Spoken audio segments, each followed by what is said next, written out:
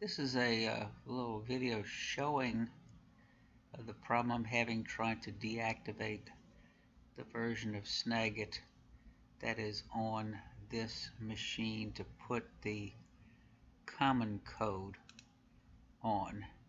So right now I'm at uh, Pro version 351 and when I go to settings you will see there is no deactivate button.